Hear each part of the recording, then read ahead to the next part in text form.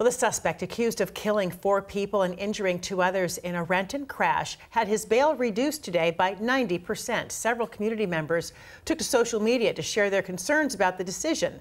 Thanks for being here at 7 o'clock. I'm Joyce Taylor. I'm Greg Copeland. His bond was originally set at $1 million, but when the suspect made his first court appearance yesterday, the judge reduced it to just $100,000. King 5's Connor Board shares why the judge made that decision. I'm aware these sort of trials can last for a really long time. His uh, arms and legs will heal, and he'll be basically free after release, after allegedly killing four people, and that doesn't seem right to me.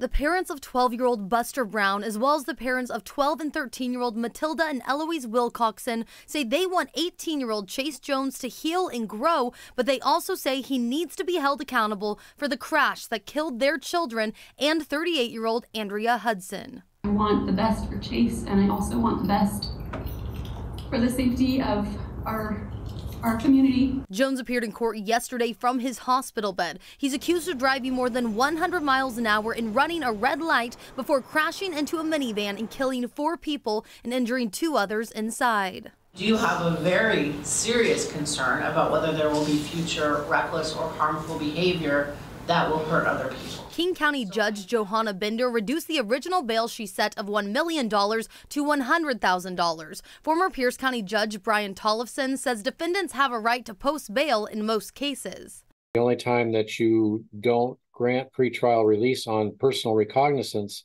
is if there is a failure to appear or a likelihood of failure to appear or there is a likelihood of interference with uh, witnesses or a likelihood that the person will commit uh, a violent crime. The judge in this case says she wants to give the suspect's family the opportunity to post bail so the parents can visit their son in the hospital. She also said due to the extent of his injuries, he is less of a safety risk and she has no reason to believe he will not show up to court.